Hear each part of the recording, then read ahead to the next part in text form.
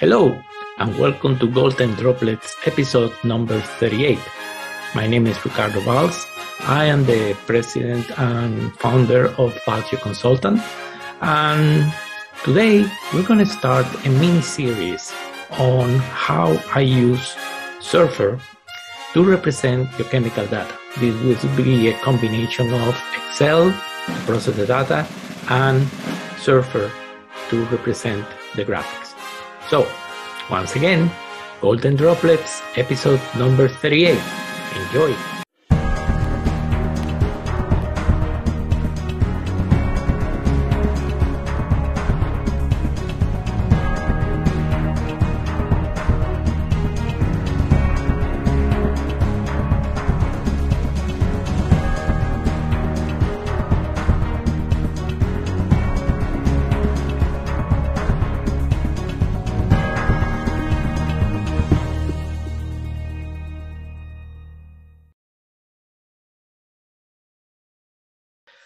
For this exercise, we're going to use the following database that can be downloaded from Mendeley using this link here.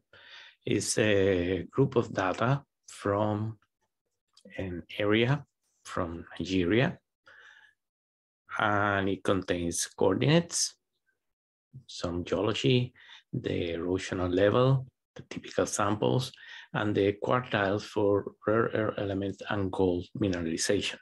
Also the number of the sample, the real number on column J, and a simplified number on column E.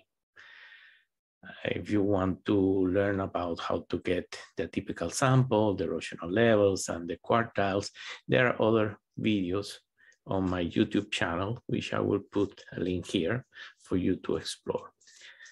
Another point is that in order to save time, it's very useful to organize your table having the first two columns as the easting and northing or latitude and longitude. So we will open Surfer. And the first thing that we're going to do, we need a base map. Okay, maybe you have an image, but if you don't have it, there is a simple way of doing this thing. So we start by creating a post of our data. And here is our data. And then we need to tell the system what coordinate system it, is, it has. So for that, we click on map, coordinate system, and we click on change. And we know that our coordinate system is 32. I have it already on my list of favorite.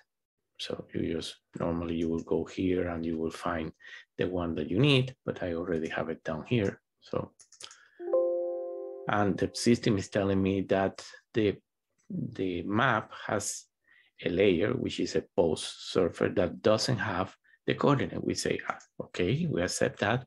But then we go down here and click on assign now. And now all our data has the same coordinate system. Now, what we want to do is to export this square into Google Earth and then copy the image from Google Earth to use as a base map. For that, we need to limit the map to the borders, even without the, the coordinates right here. We can leave it, but I mean, it's not that important. We have this rectangle and then you click File, Export as a KMZ, like we call it base map. And all we check that here in these two columns, you have the real coordinates, not the amount of pixels. So click Accept, and then you open Google Earth, go to File, open, double click on the base map, and you get here to the area. Adjust the tilt. Make it a little smaller. And then uh, with any uh, clip tool that you may have, okay, you just click new. And we select that square there and we will save it as our base map. And now we have an image of the area. We also know the coordinates, the maximum and minimum coordinates for this section, which come from the Excel table. Um, now what we need to do, we will open a new map and we will import this image that we just took as a base map. Click here, base, you select the image. Okay, now this image doesn't have coordinates as you can see, it has only the amount of pixels as coordinates. So you click on the image and then on general, you click on georeference image. Now, Surfer will give you a georeference with just three points. I usually use four and I use the four coordinates from the border. So you click on this icon here, it selects point one, two, three, and four. So the only thing that you need to do is to come here and put information. So for point one, the minimum value for X for UTM x east will be 3, 5, 8, 2, 9, 6. And also the minimum value for the UTM north, which will be 6, 8, 0, 1, 6, 7.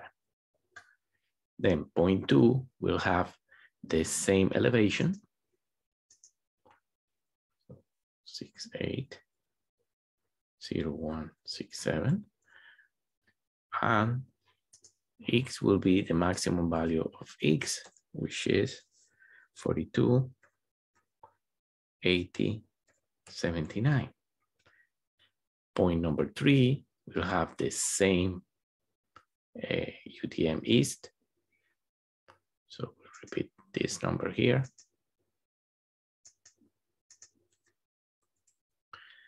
Four, two, eight, zero, seven, nine, but it will have the maximum value for the UTM North, which is 73, 9113. And the last point will have the same coordinates as the beginning. So three, five, eight, two, nine, six, and the same UTM uh, North, 739113. Now, notice in this column, the error that we had. Now, when I press enter, this column will value probably going to be near to zero because these are very good coordinates. So exactly. So we have our image georeferenced. One, we have that. We just click on the first icon update the map. We say yes. We say accept. We can close this thing. And now we have a base map that has the coordinates of our system. To this, we can add now the post, the values, our post. And we can do this two way. We can just click and drag this thing here, but I'm gonna do it in the best way, which is sooner. I just click the map and here on layers, add layers, I will add the post and it will be already in the map.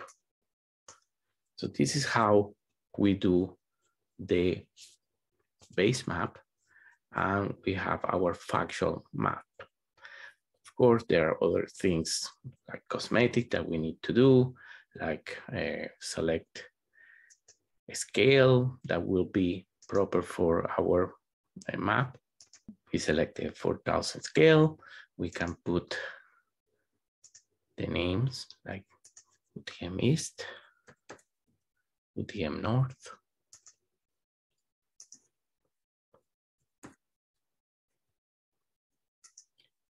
Also, it will be useful to have scale on this map. So for the scale, we just click on map tools, add scale. It's very simple.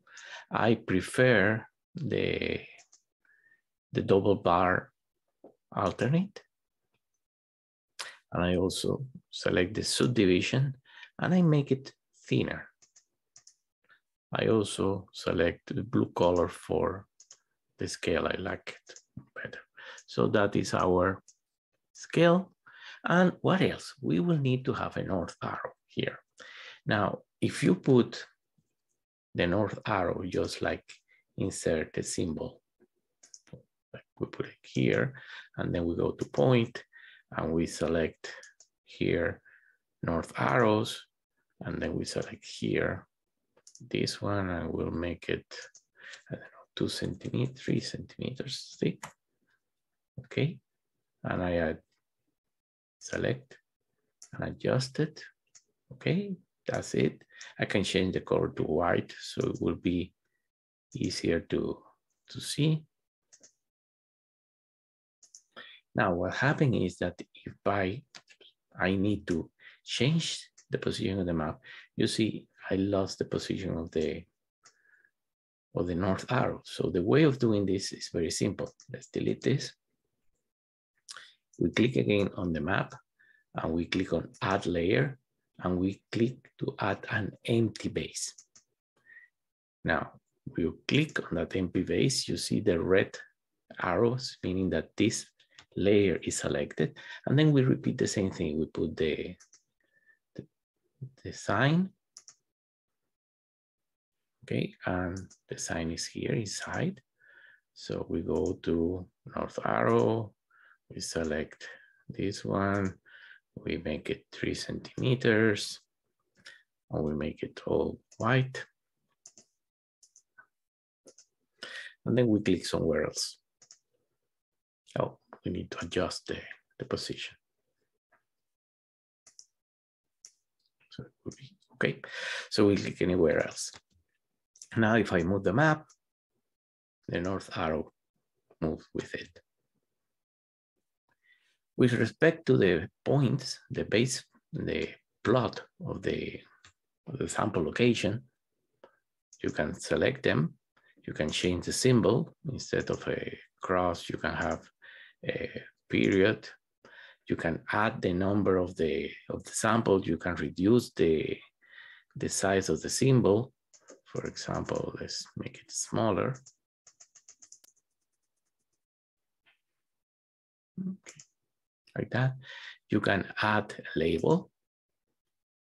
Okay, so I will use not the number of the sample, which is too big, but my number. And that will give you the location of the sample, the numbers. You can make that number smaller, of course. Um, let's say, put it like 10. And that's it. You have your base map ready.